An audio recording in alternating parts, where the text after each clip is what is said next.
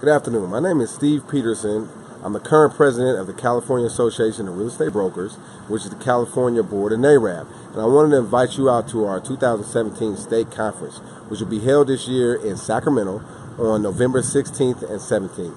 And we got a great program uh, lined up for you at the conference. You're going to learn a lot about how to build your business as a real estate agent or broker. You're going to learn a lot about real estate investing. And we're going to learn how to collectively, as realtors, help people to build wealth through home ownership and through real estate investing, as well as through building your, your real estate brokerage business to make money and build wealth. So be there, do some real power networking. You'll be able to learn how to increase your business and help build wealth through home ownership, particularly help black folks to build wealth through home ownership and real estate investing. Hope to see y'all out there November 16th and 17th uh, at the CAREB State Conference 2017 in Sacramento.